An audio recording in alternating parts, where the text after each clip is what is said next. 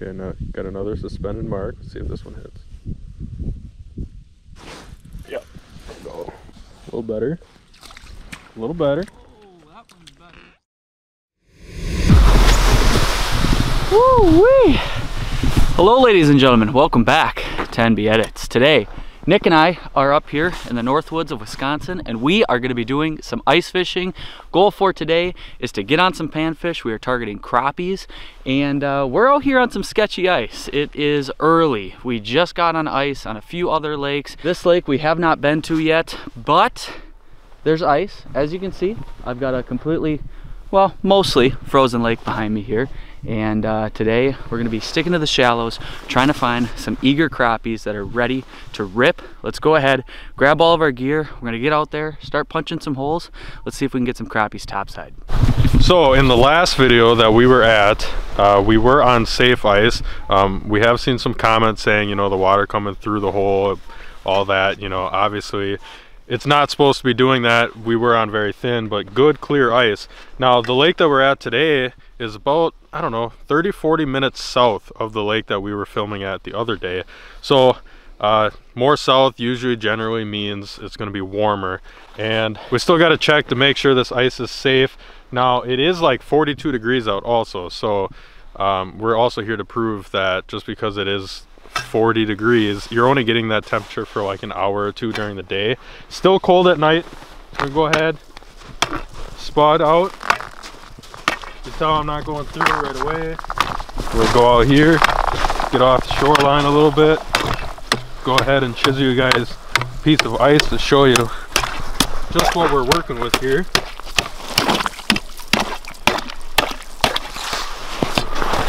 So go ahead pick up this.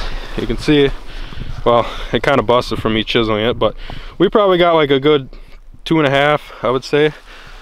Maybe three i don't know. Hard to tell but for sure enough ice for us to get out here and uh, walk on it. That is the best ice that you could uh, possibly find. It doesn't look great because it's snow covered so you obviously still have to have your chisel checking every single step. Some of it does look a little interesting around the shoreline so probably avoid those areas but the last time I was at this lake last year we found a lot of crappies like shallow. Like shoreline 10 feet off in the trees shallow. So I don't know we're gonna have to probably walk a little bit further chisel some holes get the live scope out and see if we can catch some crappies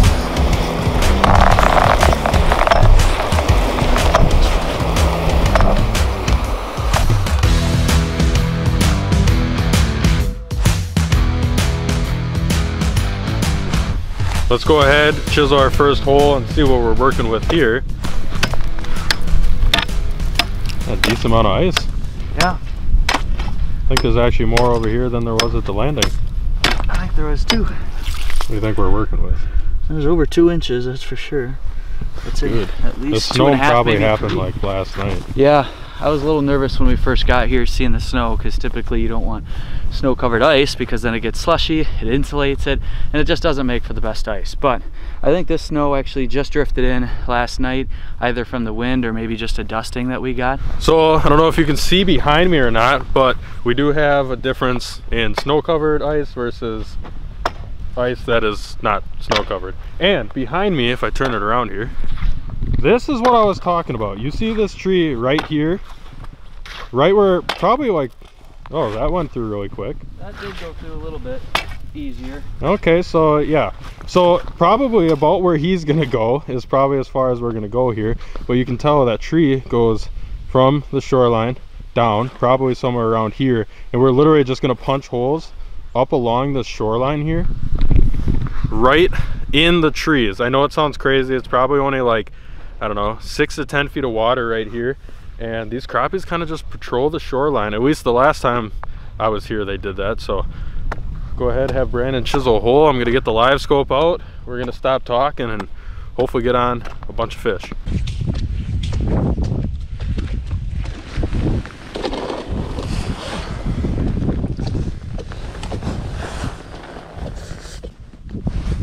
Well, first hole, that one that Brandon chiseled, we go ahead and just drop down 12 feet of water right now And I was marking some fish. I got one that is about eight feet away right now. Probably coming out of that tree. I got two of them. Still a little ways away, but it's gonna be hitting it on the spot here, hoping to get them in. They're about two feet away. Let's see if one wants to hit. All right, this one's turning into a bigger mark. He's about a foot away now.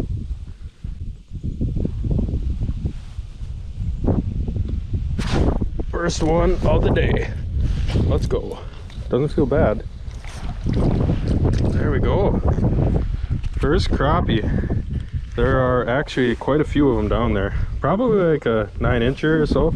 Yeah, I probably got like five crappies on me right now.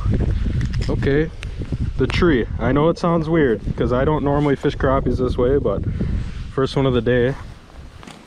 Man, that is great. So what I am using, bait of choice, you guys probably saw us use this a lot last year, but this is what I'm going to be using right now. This is the Frostbite Dinner Bell. This is the smallest size that they make. Um, it is not tungsten, but basically this goes down and it flutters when you rip it because it's got this little bell here in the middle. And let me tell you, if you guys can get a hold of one of these, you are definitely going to catch crappies. This is probably one of my go-to crappie baits. Almost at any lake, you can drop this down untipped and you are going to get fish. And for the rod, if you guys are interested, I'm using the Fantastic. This is a 29 inch ultralight from Frostbite. And the thing I love about this is the fact that I can be versatile with it. I can catch bluegill, I can catch crappie, and as you can tell from that one, um, it fully loads up so you're able to absorb those head shakes and uh, catch a lot of fish with it. So that's the setup right now. Got the first crappie already on the ice. Not a bad one to start. The marks that I did have are gone, but they like to cruise like I was saying. So we're just gonna sit in this hole and wait for them to notice this dinner bell and come on back. Let's see if this guy's interested. Oh yeah, he's raising up. Keep coming up. Oh yeah, right on me. Right below me. Here he comes. Got him. There we go. First one. Decent little guy there. There we go. First fish on the old dinner bell. I switched over. Originally started with just a jig and a plastic. Switched over to the dinner bell. Golden color. Nice fish. There we go. Hook comes out. Go ahead. Send him back. See you later, buddy. Come on, I know one of you guys want this. Come on, get up here. Here he comes.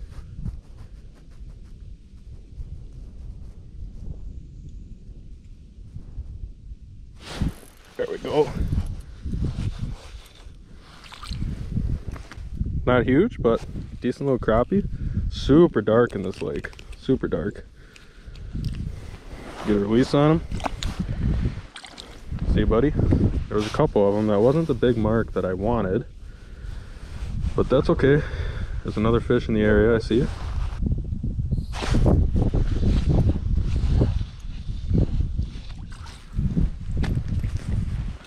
hurry up. There's another one. Come on. Nice thing about using the dinner bell and not tipping it, you don't have to worry about anything getting ripped off, any plastic or any wax worm, anything like that. You just quick get it out, drop her back down. Come on, you're right under it. Just do it. Just hit it. I don't know why you haven't. Oh, the one from the right's getting serious. Oh, the one from the right's really getting serious. Okay. Show the other ones how to do it. There we go. Oh my god. And it was tiny.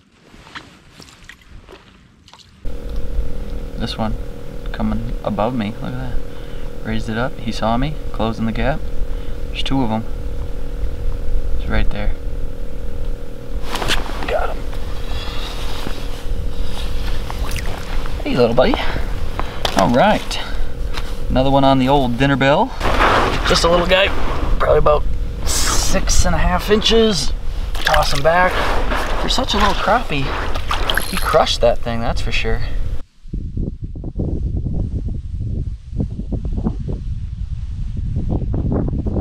Hello, fish. Where'd you go?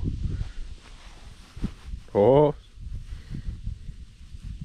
Okay, now got another suspended mark. Let's see if this one hits. Yep. Go. A little better. A little better. Oh, that one's better. There we go. Just munched the dinner bell. Beautiful crappie. That one's probably, uh, I don't know, 10, 11 incher. Nice healthy fish. I am gonna toss this one in our little net that uh, we have. I can show you guys in a second here. Um, probably not gonna keep fish, but we do keep some fish for thumbnails for you guys to see. So go ahead, put that in the net here and uh, keep fishing. Got a nice one. Look at that. It is a nice one. Look at that. Oh man, look at that dinner bell. Oh yeah, they are loving it. Silver and pink. Haven't used this color before, but man, I tell you what, I probably already caught like, I don't know, six, seven fish on it, and they are munching it. And guys, look at, there's nothing on it. We get so many comments saying, do you guys tip your dinner bells? No, no we don't. Just put this thing on and you're gonna catch fish. And half the time, if you watch really close in our footage, um, those fish will come in and normally, you know, you gotta sit there and hit it on the spot, get that thing moving around. No, most of the time they come in, I'm just holding it as still as possible and they're still coming in and hitting it. But now that Brandon's got the big camera, I'll show you guys this net that we got here. Go ahead, set this down. So basically we bought this thing like, I don't know, six years ago. Never really use it, but basically it's just a long net that you set into the ice hole like that. You just slide the fish in like that. And then it's got some flotation devices up here. You just kind of chill like that and that'll keep your fish in there. If you want to keep them fresh, you know, it's better than having a bucket. It's a lot easier to roll that out than it is to carry a whole bucket. And in our case, just keep it uh, for some pictures. But yeah, that's the first nice one of the day. The new lake is locked. It's successful. And guys, it's 40 degrees out here. It's sunny. I am loving life. We'll go ahead, move down from Brandon a little ways. Another down tree over here. We'll go ahead and just check this one out. Ice is definitely considerably thinner over there, as you can tell. You can tell that was probably last to freeze and snow covered, so probably didn't freeze great compared to it over here. But we'll go ahead and chisel a hole here where it is safe. No need to push it too far.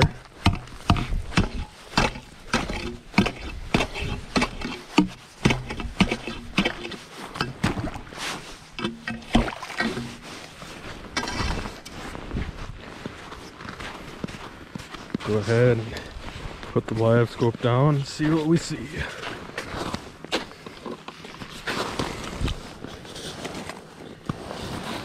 And we got, is that fish right under me? I think we might be right on that tree.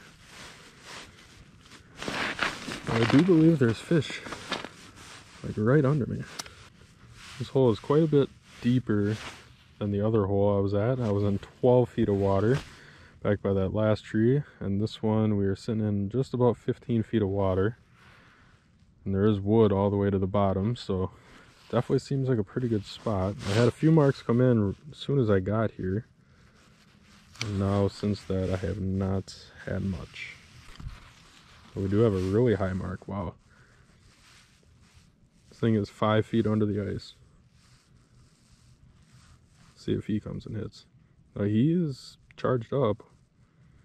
Oh god, we're three feet under the ice.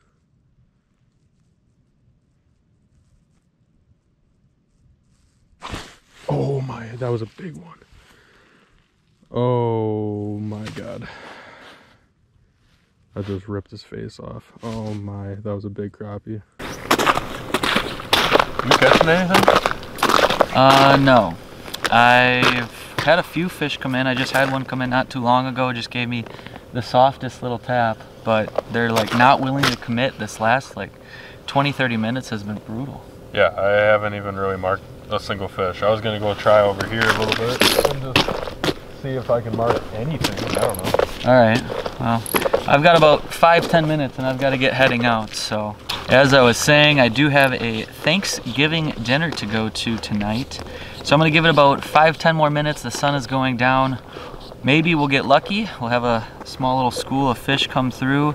We just need that last flurry of fish. I think Nick is gonna stay out here a little bit later than I am, but we have been going through a pretty massive lull. Hopefully things turn around here. Oh, one coming up. Come on. There we go. Got him. That's one. Oh boy. Oh. There we go. Not a bad fish. Nice one there. Sun's going down.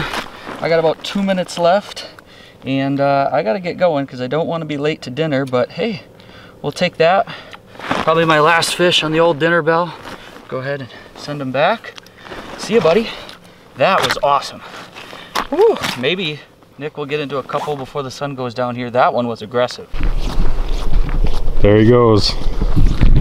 Well, looks like it's just on me. I'm gonna stay probably just for another like 20 minutes here uh, before the sun goes down and hopefully I can catch a nice one before dark. Uh, it's been pretty hard to get a fish, but you know, I got live scope, I got a frozen lake, and uh, we're just gonna see what happens. So I'm gonna go ahead, switch back over to the GoPro and see if I can make some magic happen.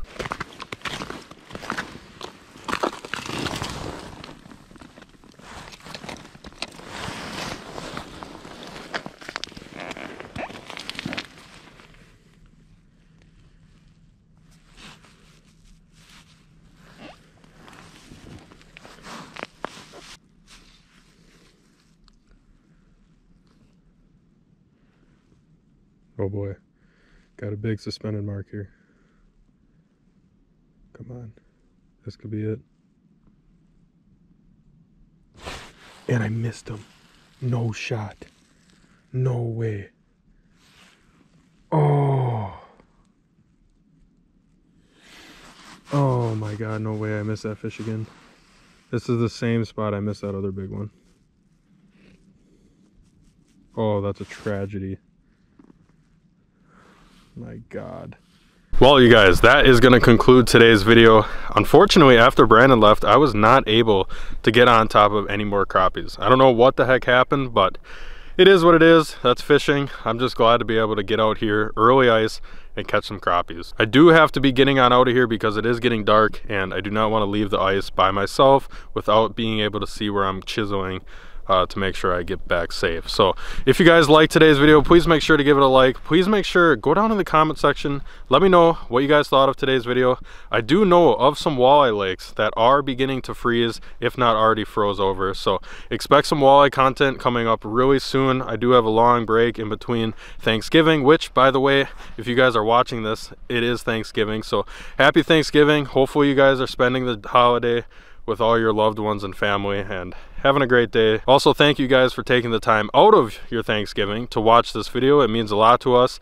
Um, the last couple videos have done really well, so thank you guys for all the support. We're going to keep on pushing out videos as much as we can. So with that being said, again, like the video, subscribe if you guys are new. I will talk to you guys on the next one. Tight lines from NB Edits.